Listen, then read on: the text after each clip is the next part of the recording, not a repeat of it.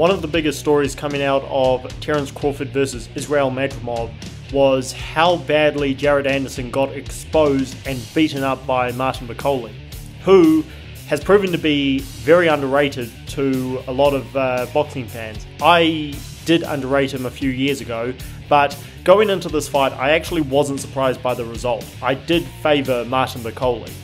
And the reason why is because Jared Anderson had shown weakness against Charles Martin, which isn't necessarily a bad thing because when you step up, you show more weaknesses and you need to show more wrinkles to your game. And Jared Anderson certainly responded well against Martin, but Martin was old, washed up, didn't have any training camp whatsoever, and by simply moving his head from side to side, he was able to avoid Jared Anderson's big knockout punches and buzz him several times by reaching with the left hand, and then when Anderson would pull back or lean back, Martin would fire off another left hand, and he was catching him clean, and Anderson was hurt badly.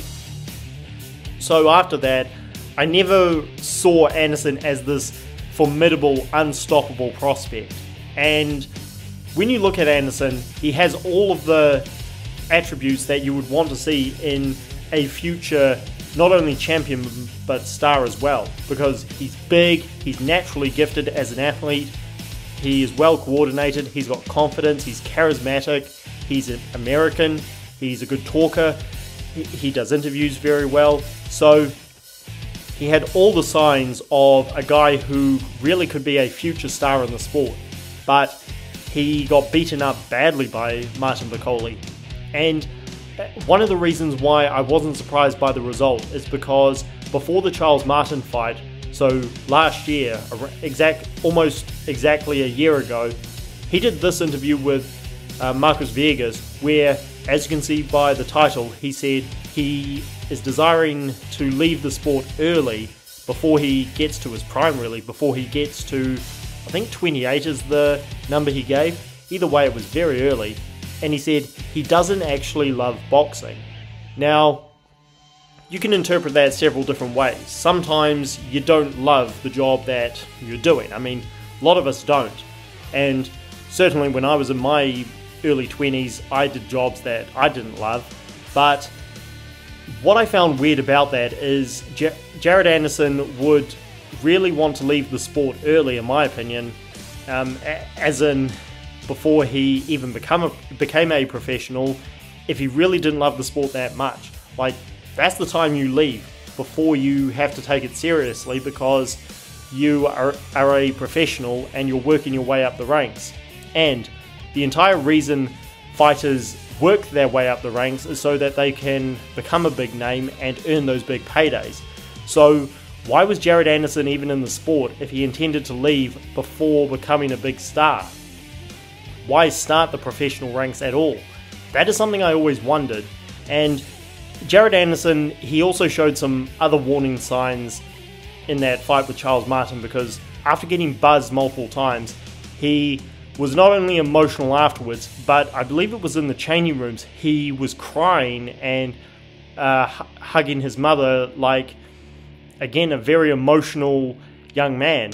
And being emotional isn't a bad thing, of course, it's a human thing, but to win a fight where you had to face some adversity and then you start crying hysterically afterwards, that shows that you may be a bit unstable because, again, most people are emotional after they lose a fight or they have to go to war and they exert so much, and it's a very emotional charging experience.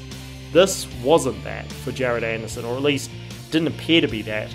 So, to be very emotional like that, and to constantly talk about how you don't love the sport and you want to leave, I actually took it as some major coping mechanism where he's saying, well, or he's trying to give off the message, well, you know what, guys, I don't actually love the sport, so if I get beaten up, or if I lose, or if I face some adversity, it ain't no big deal because I'm not even trying in there because I don't really love the sport. I'm just doing this because I'm forced to do it, you know? That kind of thing.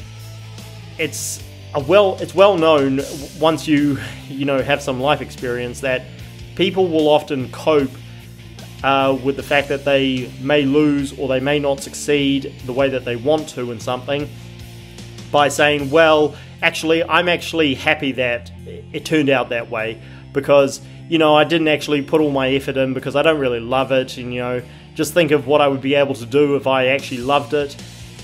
Again, this is just human psychology, really. So, yeah, the fact that Jared Anderson was talking about this or talking like this repeatedly before he had done anything serious just made me think maybe Anderson isn't motivated to evolve because again if he doesn't love the sport and he's telling you hey I don't like the sport I don't like the sport I don't like the sport then what could we expect from him so he fights Martin Bakole who's a big juggernaut of a man who comes forward like the Terminator constantly and he is very good at when he pressures his opponents to hit them repeatedly. He doesn't let, let you breathe. He doesn't let you off the hook.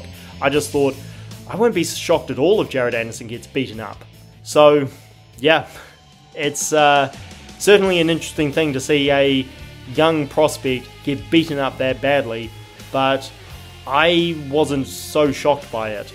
And if Jared Anderson really doesn't love the sport as much as he claims, then I don't think he's going to come back from this which is one of the major things I wanted to say in this video. I don't think Anderson has a future in the sport after this because, again, if you really hate the sport as much as you say you do, then what motivation do you have to evolve? What motivation do you have to come back from this?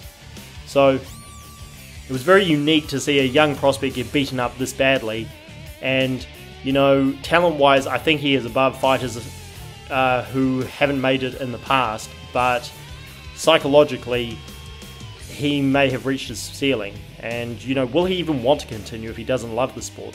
Drop your thoughts down below. Let me know what you guys think about what future, if anything, Jared Anderson has. And I'm going to do more videos talking about the future of the heavyweight division because it is on fire. Cannot wait to see what is next. Drop your thoughts down below, guys. Like the video and subscribe to the channel for more. Catch you later.